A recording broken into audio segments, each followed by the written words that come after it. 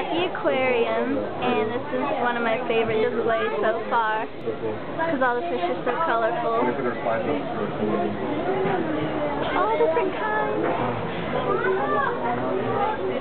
There's a big fish.